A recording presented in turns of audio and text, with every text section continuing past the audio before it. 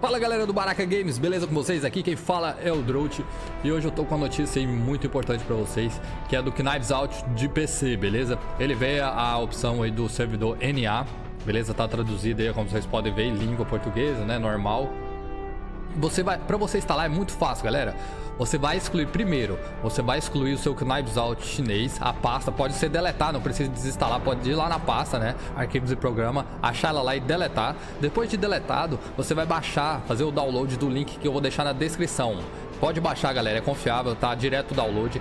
Pode baixar aí, clicou, ele vai já vai fazer o download, né? Já vai direto pro seu navegador e começar a fazer o download um executável, que é o, o Knives Out NA, beleza? Se não fizer pedir para autorizar, aperta OK e ele vai começar a baixar. Depois de baixado, né, e a, e a pasta excluída, você vai clicar em instalar, beleza? Instala, ele vai fazer a instalação lá pequenininha. Depois você dá OK, já vai abrir o Knives Out e vai começar a atualizar, cerca de 1 GB, tal, igual o outro.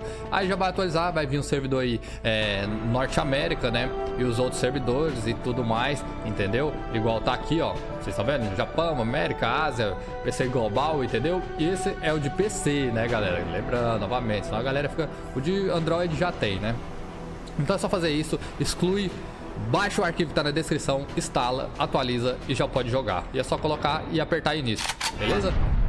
Se você é novo no canal, se inscreva, deixa o like, comente aí embaixo sua dúvida, sugestão. Tamo junto, é nóis, falou!